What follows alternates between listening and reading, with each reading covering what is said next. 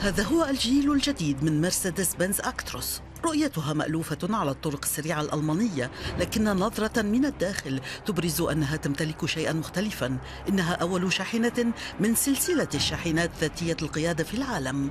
أول اختبار عملي تم هنا بالقرب من شتوتغارت. حتى الآن لا يسمح بقيادتها إلا لأغراض الاختبار. ففي حين تبحث الشركة عن حلول تقنية لهذه الشاحنة ذاتية القيادة يتوجب على الساسة بحث الأسس القانونية لترخيصها. لكن رئيس وزراء ولاية بادن فورتنبرغ الذي رافق الرحلة الأولى ينظر بإيجابية إلى هذه العملية.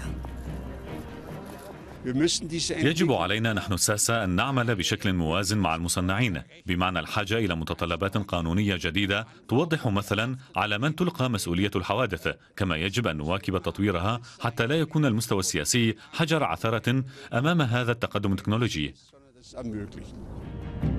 قبل عام كشفت مجموعة دايملر عن رؤيتها لشاحنات المستقبل من خلال Future Truck 2025 هذه الشاحنات المستقبلية تتيح للسائق القيام بأعمال أخرى أثناء عملية القيادة.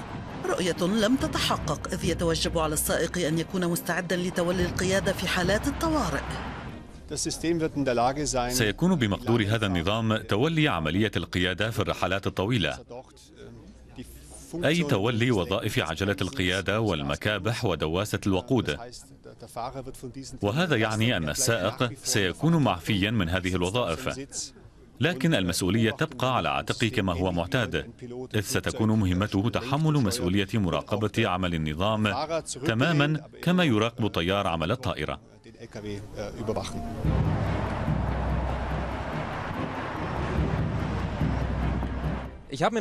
لن أفوت بالطبع فرصة السفر بمثل هذه الشاحنة. تعلمت في مدرسة تعليم القيادة أنه يتوجب علي إبقاء يدي على المقود وهو ما يخالف تماما ما يحدث هنا. كيف يعمل هذا النظام إذن؟ يعمل هذا النظام من خلال نظام تحكم تكيفي بسرعة. يستجيب لما يحدث في محيط السيارة. كما يوجد فيه نظام توجيه إلكتروني يوجه الشاحنة في مسارها تلقائيا. هل يمكن مقارنة هذا النظام بنظام مراقبة الازدحام المساعد الذي يتوفر في طراز في إس؟ مقارنة جيدة من حيث المبدأ. هناك شبكة من مستشعرات الرادار والكاميرات التي توفر المعلومات اللازمة للنظام ما يزيد مستوى الأمان في الشاحنة كما أن للقيادة الذاتية العديد من الآثار الإيجابية الأخرى. نعتقد أنه عند توصيل تدفق حركة المرور بالإنترنت فهذا سيجعل حركة المرور تتدفق على نحو أفضل وسنرى انخفاضا ملموسا في مستوى الازدحام الذي نعاني منه اليوم أي أن النتيجة ستكون إيجابية.